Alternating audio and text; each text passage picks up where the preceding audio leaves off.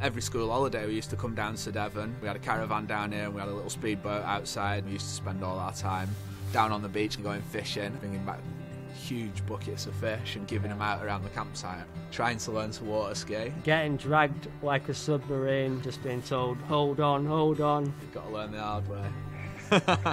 when I moved to Plymouth, my dad decided that I needed to do the annual maintenance and cleaning on his boat. I used to get asked by boat owners all the time, you know, what polishes I was using, how I was kind of making the boat shine. Decided that's what I wanted to do.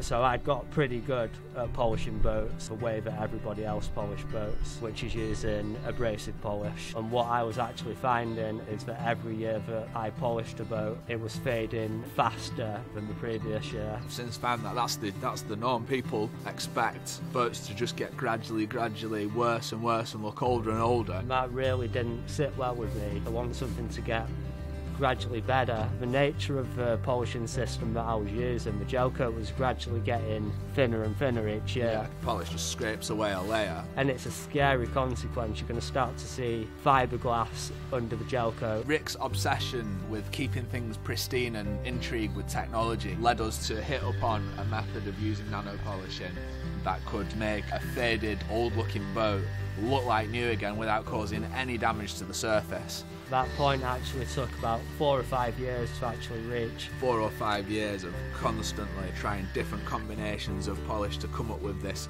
perfect system. It's a completely different technique that's necessary. The nano polishes, because they're so fine, are able to just take away the rough, dry, faded part of the surface. The next challenge was to find a way of protecting that shine. I think the conventional way to protect a shine is using wax, which basically just melts. It really doesn't offer any kind of long-term protection for boats. We began to experiment with super durable nano coatings, testing hundreds of the best products from around the world, and that led to the development of Diamond Coat, which protects the restored shine of a boat's surface for longer than any other protective coating that we've ever tested.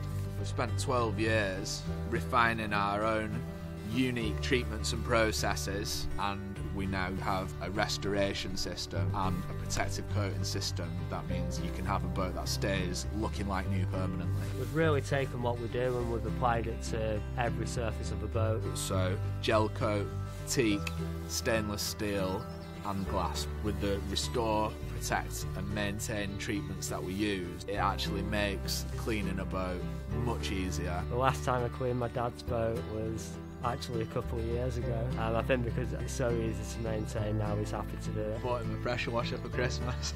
yeah, and he seems to actually quite enjoy using it.